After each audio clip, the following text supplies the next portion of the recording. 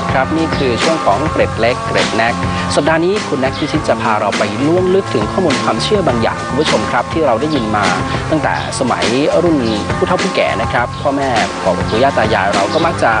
ตือนบอกเราเสมอว่าเราเอ๊ะห้ามเหยียบธรณีประตูนะ เป็นเรื่องที่ไม่ดี หรือแม้กระทั่งเรื่องของการแตะคานประตูโบสถ์เวลาที่ส่งหน้าเข้าโบสถ์เหล่านี้เป็นความเชื่อที่มีที่มาที่ไปอย่างไร และความเชื่อเหล่านี้เชื่อถือได้จริงหรือไม่ และทำไมเราถึงยังต้องปฏิบัติตามกันจนเป็นธรรมเนียม ซึ่งก็ไม่แน่ใจว่าถูกต้องหรือไม่ถูกต้องอย่างไร วันนี้เราได้รู้กันแน่ๆกับคำตอบที่เกิดขึ้นในช่วงของเกร็ดเล็กเกร็ดแรกครับก็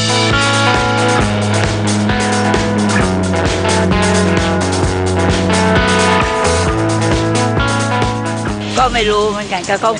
สมัยปู่ย่าตายายเขาห้ามเหยียบแม่พระธรณี ไม่รู้แต่ว่า เขาพอเขาเรียกว่าแม่ธรณีประตูมันขึ้นคำว่าแม่ใช่ไหม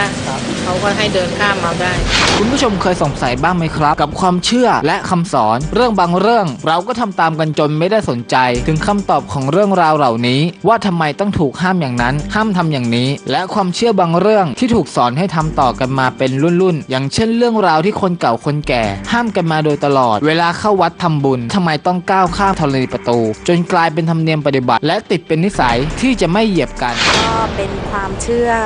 ที่สืบต่อกันมาจากบรรพบุรุษเนาะการเข้ามาในสิ่งสถานที่ศักดิ์สิทธิ์ คาดว่าน่าจะห้ามเหยียบพระแม่ธรณีหรือเปล่าเป็นเนาะน่าจะใช่ตรงนั้นเขาบอกแม่พระธรณีเป็นสิ่งที่เราควรเคารพนับถืออย่าไปเหยียบท่านใช่ไหม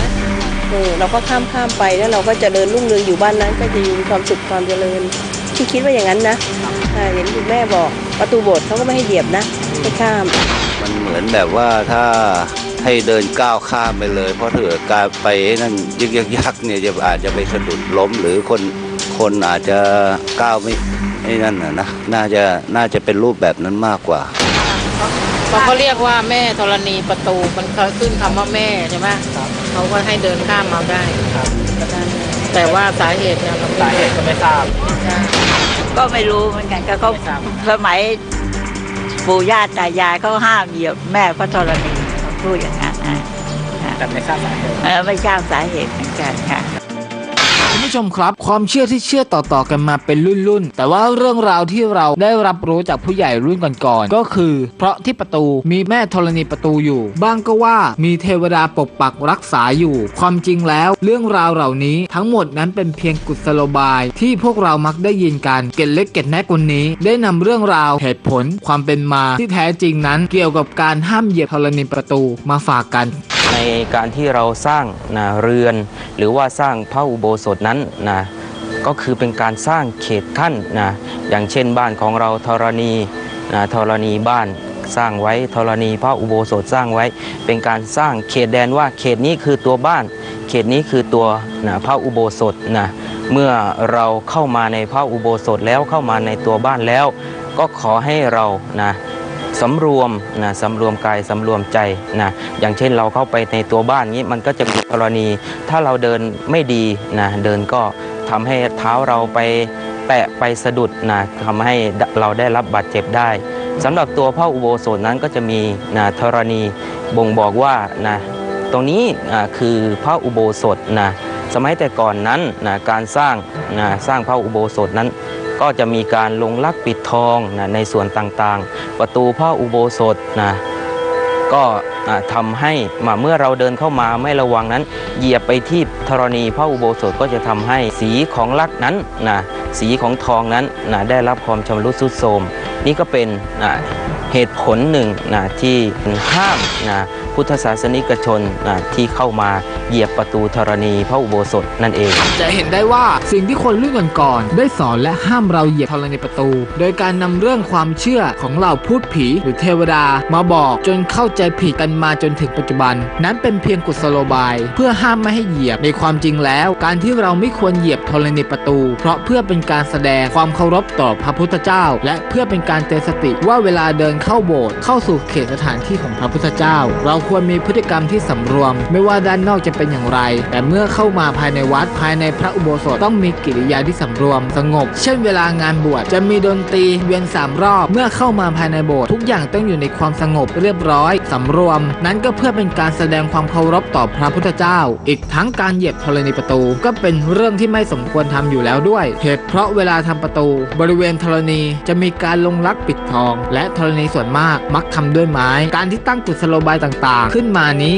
ก็เพื่อป้องกันทองที่ลงลักไว้นั้นจางหาย หรือแม้กระทั่งป้องกันการเกิดการชำรุดต่อธรณีประตูที่เป็นไม้อีกด้วยนั่นเอง แต่ว่าไหนๆเราก็ทำเรื่องประตูกันแล้ว ผมก็ขออนุญาตนำเรื่องราวความเชื่ออีกหนึ่งเรื่องที่เกี่ยวกับประตูขึ้นมานำเสนออีกเรื่องหนึ่งครับ เวลาไปงานบวชหลาย ๆ ครั้ง เราจะเห็นกันนะครับว่า ขณะที่นาคกำลังก้าวข้ามพ้นธรณีประตูนั้น บรรดาญาติพี่น้องและเพื่อนๆ จะช่วยกันยกนาคและน่าจะชูมือขึ้นจนสุดเพื่อไปแตะขอบประตูโบสถ์ด้านบน ตามความเชื่อโบราณว่า ถ้านาคแตะขอบประตูโบสถ์ด้านบนได้ จะทำให้ร่ำเรียนได้สูง แตกฉานในพระธรรมวินัย ไปจนสู่พระนิพพานที่เหมือนไกลสุดมือเอื้อม และนี่ก็เป็นเพียงกุศโลบายของคนโบราณที่บอกต่อกันมา เปรียบเสมือนการจะไปถึงพระนิพพาน ต้องอาศัยแรงหนุนจากคนรอบข้าง เพื่อไปสู่พระนิพพานเป็นความเชื่อส่วนบุคคลนะแต่ละภาคแต่ละส่วนก็ไม่ค่อยเหมือนกันนะบางคนเชื่อว่า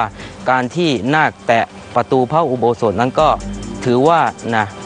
ประตูปลายประตูพระอุโบสถนั้นคือสิ่งที่สูงสุดนะสิ่งที่สูงสุดของพุทธศาสนาก็คือพระนิพพาน การแตะปลายประตูพระอุโบสถนั้นก็คือว่าการที่ทำให้เราบวชมานั้นนะถึงซึ่งพระนิพพานได้ แท้จริง ๆ แล้วการปฏิบัติต่างหากนะที่เราจะทำให้เราพ้นทุกข์แล้วก็ถึงพระนิพพานได้คุณผู้ชมครับ เรื่องความเชื่อถึงแม้หลายคนจะเชื่อว่าการแตะขอบประตูโบสถ์ด้านบน เพื่อหมายถึงการไปสู่พระนิพพานแต่ในความเป็นจริงแล้ว การจะไปถึงพระนิพพานขึ้นอยู่กับการปฏิบัติการฝึกฝน และความตั้งใจปฏิบัติเพื่อให้ได้บุญสูงสุดนั่นเอง และที่มาของการแตะขอบประตูโบสถ์ในหลาย ๆ ข้อมูลก็ได้กล่าวถึงอดีตการ เมื่อเวลานาคบวชเวลาก้าวข้ามธรณีประตูพระอุโบสถ การที่นาคแตะขอบอบประตูด้านบน ก็เพื่อวันระยะในการเข้าประตูโบสถ์เพราะสมัยก่อนประตูโบสถ์จะไม่สูงมากนัก หากไม่ใช้มือแตะขอบประตูโบสถ์ด้านบน หัวนาคอาจจะโขกกับขอบประตู จนเกิดการเลือดตกยางออกได้ ฉะนั้นการแตะประตูโบสถ์ในสมัยก่อน ก็เพื่อเป็นการวัดระยะเพื่อไม่ให้หัวนาคโขกโดนกับขอบประตูด้านบน นั่นเองครับ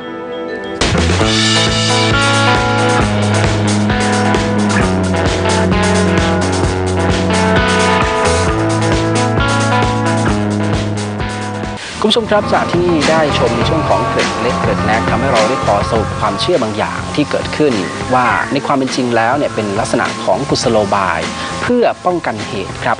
เป็นความเชื่อที่เกิดขึ้น เป็นการเตือนด้วยความปรารถนาดีที่บางทีเราก็ยังอาจจะไม่ทันจะไปลบล้างความเชื่อเดิม เพราะว่ากลายเป็นเรื่องของฝังเข้ามาจนเป็นสิ่งที่ส่งต่อๆกันมา เป็นวิถีปฏิบัติเป็นประเพณีไปแล้วนะครับ แต่ว่าสิ่งที่เราจะต้องบอกคุณผู้ชมในอีกด้านหนึ่งในเชิงวิทยาศาสตร์ก็คือว่ามันเป็นเรื่องของเหตุผลที่เกิดขึ้นจากการระมัดระวัง การเตือนให้ระมัดระวังในอันตรายที่จะเกิดขึ้นนั่นเอง แต่สิ่งสำคัญที่สุดที่เราหยิบมาฝากกันก็คือว่าในเรื่องความเชื่อที่เราสืบทอดกันมานั้น บางทีเกิดความเข้าใจผิดในลักษณะอย่างนี้ แล้วเกิดการกระทำบางอย่าง อย่างเช่น เด็กไปเหยียบธรณีประตู แล้วก็กลายเป็นว่าโดนผู้ใหญ่ดุด่าเกลี้ยวกราดโกรธเคืองใส่อาจจะเกิดจากความไม่รู้ความไม่ตั้งใจของเด็ก แต่กลายเป็นเรื่องใหญ่มากครับ อาจจะต้องถึงขั้นไปขอขมาลาโทษ หรือว่าเกิดการลงโทษ อันนี้ก็จะ